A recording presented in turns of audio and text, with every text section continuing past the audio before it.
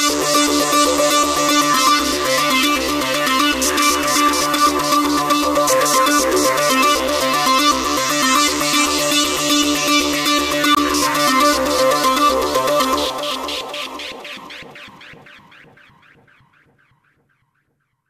Benvenuti ad una nuova puntata di FM Sport, il notiziario sportivo settimanale della Federazione Motociclistica Italiana. In questa puntata vi parleremo di il Mondiale Moto3 a Barcellona che ha visto gareggiare due piloti del Team Italia, Romano Penani ed Alessandro Tonucci. Il campionato mondiale motocross MX1 e MX2 con uno scatenato Antonio Cairoli che fa man bassa di punti e vittorie in Francia.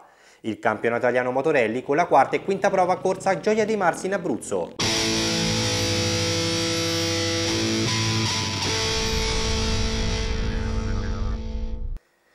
Sfortuna ed orgoglio. Nel Mondiale Moto3 andato di scena sul circuito di Barcellona, i piloti del Team Italia vivono una domenica alquanto altalenante, caratterizzata da molta mala sorte e da una determinazione feroce nel reagire alla stessa.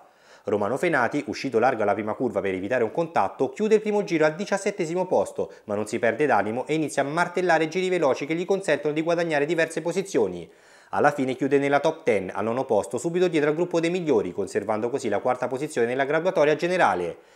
Peggio è andata all'altro pilota del Team Italia Alessandro Tonucci che a metà corsa in piena rimonta dalle retrovie scivola e perde così ogni chance di terminare a punti la gara che conclude invece in ventottesima posizione.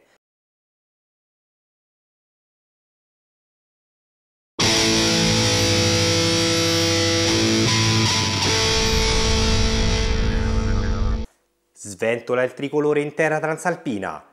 Nella località di Saint-Jean d'Angely, dove andava di scena la sesta prova del mondiale motocross MX1, Antonio Cairoli torna il cannibale di sempre e pittura il circuito francese di tricolore facendo il pieno di punti. Il siciliano, ben motivato a cancellare l'opaca prova offerta in Brasile, si trova magnificamente a suo agio su un circuito tecnico e veloce e regala una guida a tratti superba.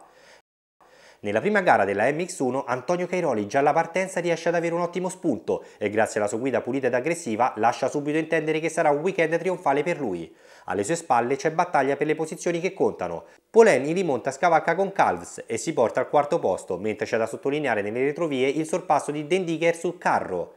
E mentre Desailly raggiunge e supera con Calv, Polen mette nel mirino prima Xavier Buch e poi Porcel, riuscendo in entrambe le occasioni a sopravanzarli.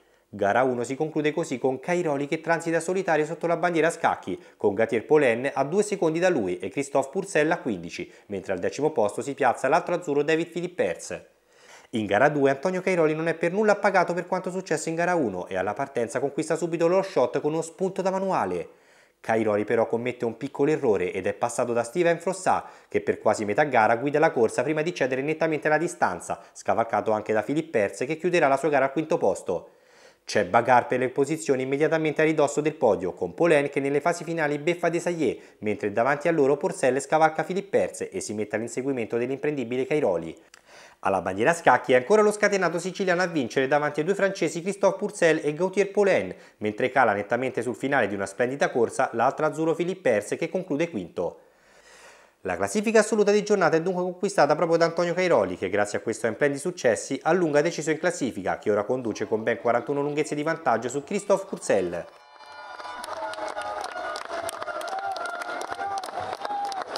Nella MX2 vinta da Jeffrey Erlings grazie a un primo posto in gara 1 e a un secondo in gara 2, l'azzurro Alessandro Lupino non brilla nella prima manche ma fa sesto nella seconda confermando così di essere in crescita.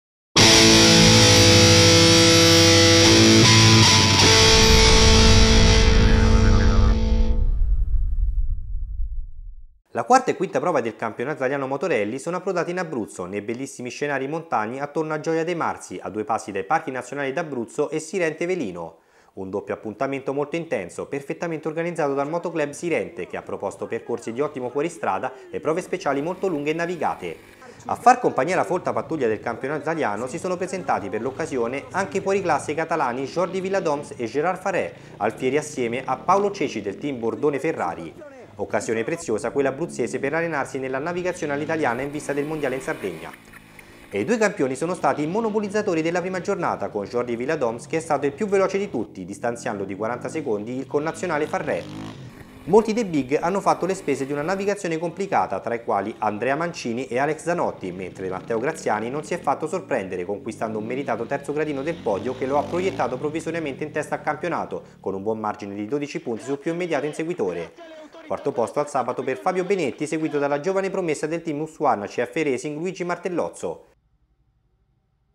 Classifica rivoluzionata la domenica, dove questa volta a sbagliare è stato proprio Matteo Graziani.